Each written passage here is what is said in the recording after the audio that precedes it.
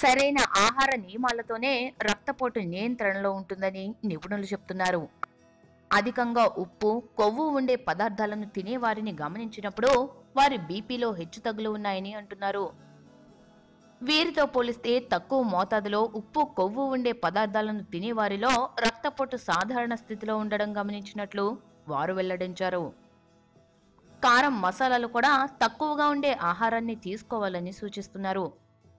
రక్తపోటు పెరగడానికి ప్రధానంగా ఉప్పు దోహదం చేస్తుంది. అందువల్ల ఆహారంలో రోజుకు మూడు నుండి నాలుగు గ్రాములకు మించకుండా ఉప్పు ఉండేలా చూసుకోవాలి. పచ్చళ్ళు వడియాలు వంటి నిల్వ పదార్థాల్లో ఉప్పు ఎక్కువగా ఉంటుంది.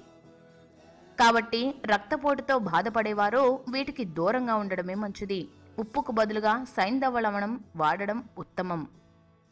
సైంధవ లవణం అంటే రాక్ సాల్ట్.